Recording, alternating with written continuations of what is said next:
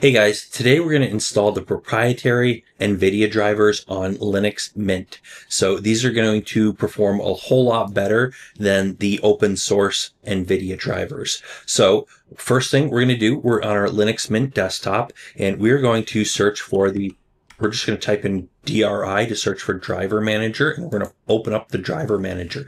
Now, fortunately, this is super, super easy and it's going to search for any updated drivers. So any proprietary or optional drivers that aren't there that would work for our system, it's going to automatically find them for us.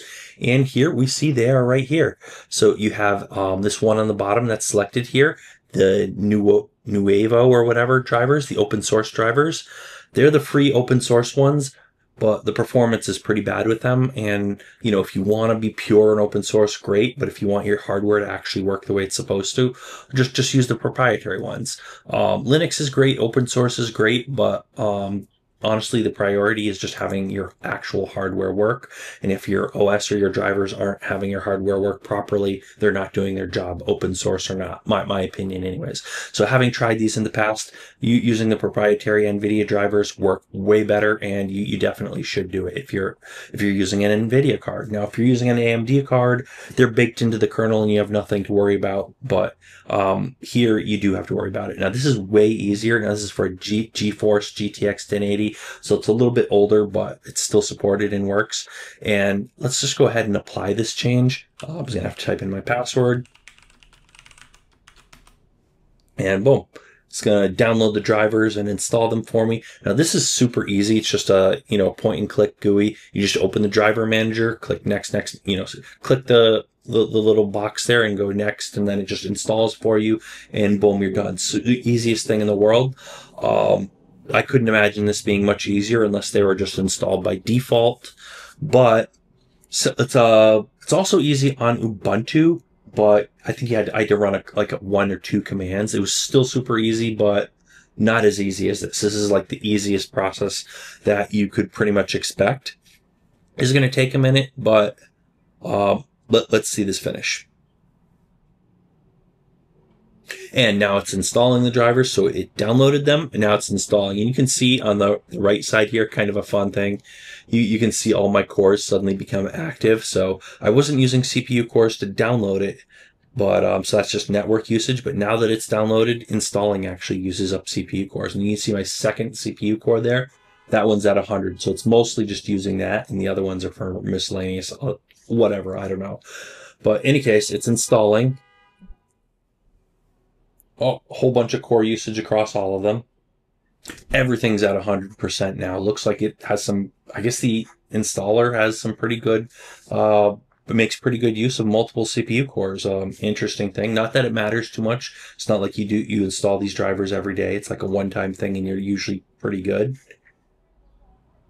And boom, we're done. So we, we've installed the drivers but it says, hey, you need to restart your computer to complete the driver changes. And technically, you could probably go in on the command line and say, you know, ls mod, ins mod, whatever other goofy stuff you're going to do. But even then, I wouldn't trust it to be working exactly optimally. You should bounce it no matter what.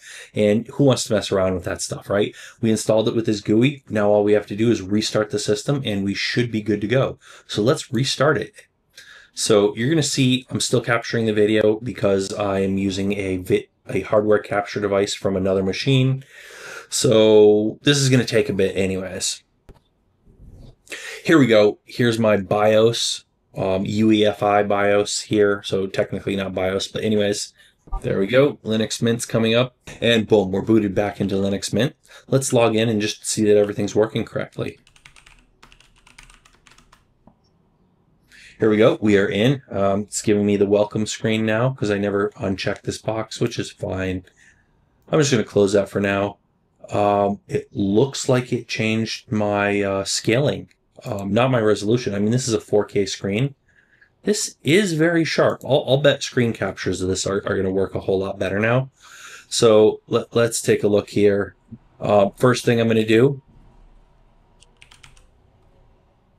displays scaling 200%. So scale the UI, UI elements and keep. So we still have our 4K display.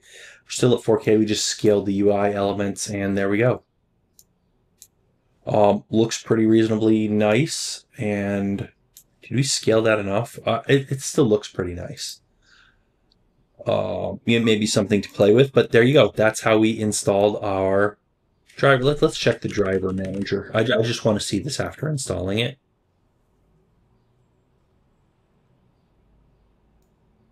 Looking for drivers. Let's let it search there. It searched and it says, hey, these are what are available.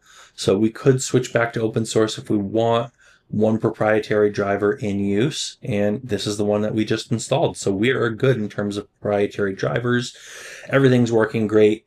Um, it, it messed around with my my res my uh, scaling and stuff a little bit, which is I, I guess no big deal. You know, I might want to play with that a little bit more. But yeah, there we go. There's our proprietary driver. I'm not going to demo. I don't have any games installed in this system yet, but uh, from my testing in the past, um, like I've tried running games with the open source driver and with the proprietary driver. It's a little choppy with the the open source driver runs nice and smooth with the proprietary driver. So seriously, if you want any of that stuff to work, just use the proprietary driver if you, if you care about your graphics and stuff working properly.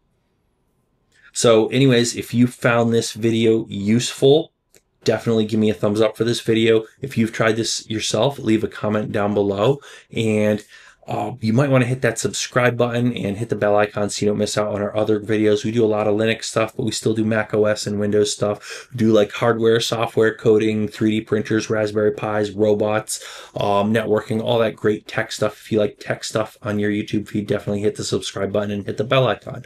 But that's it for today. So thanks for watching and we'll see you guys on that next video.